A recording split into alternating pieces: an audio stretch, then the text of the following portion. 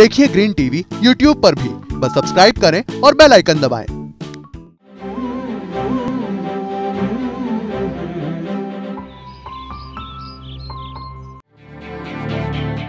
अब गरीब परिवारों को हर साल पाँच लाख रुपए तक के इलाज पर अपने पैसे खर्च नहीं करने होंगे और वो इसलिए क्योंकि सरकार ने एक ऐसी योजना की घोषणा की है, जिसके तहत उपचार के लिए हर साल प्रति परिवार पाँच लाख रुपए की सहायता दी जाएगी। इस योजना का नाम राष्ट्रीय स्वास्थ्य संरक्षण योजना की घोषणा तो हो चुकी है, लेकिन ये योजना है क्या?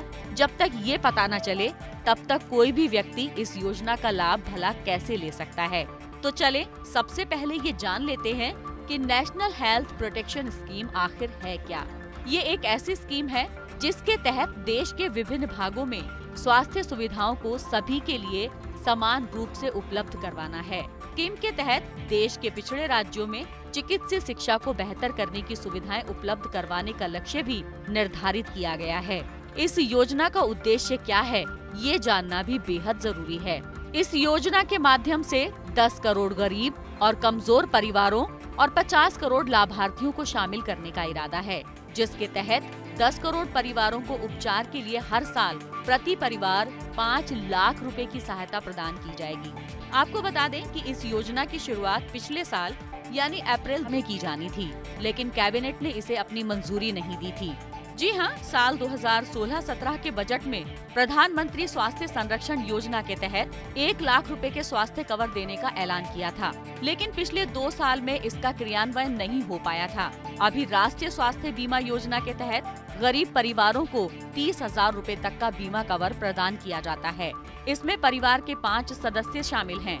ये राशि कम होने के कारण इसका बहुत ज़्यादा फ़ायदा लोगों को नहीं मिल पाता है। लोग सरकारी अस्पतालों में इलाज तक ही सीमित रहते हैं। लेकिन पाँच लाख रुपए की योजना से निजी अस्पतालों में भी लोगों को इलाज की सुविधा मिलेगी। लेकिन अब इससे कई गरीब परिवारों को मदद मिलेगी। जानकारी के लिए आपको ये भी बता दें, अमरीकी कांग्रेस ने patient protection and affordable care act नाम से हेल्थ केयर प्रोग्राम को कानूनी रूप दिया था।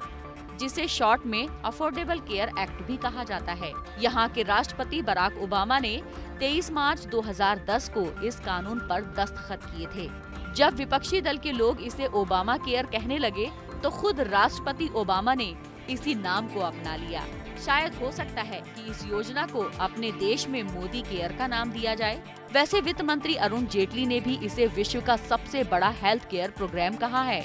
वित्त मंत्री का मानना है कि इससे कम से कम 50 करोड़ लोगों को लाभ मिलेगा। यानी योजना के तहत अब गरीब परिवारों को हर साल पाँच लाख रुपए तक के इलाज पर अपने पैसे खर्च नहीं करने होंगे। देखिए ग्रीन टीवी, यूट्यूब पर भी। बस सब्सक्राइब करें और बेल आइकन दबाएँ।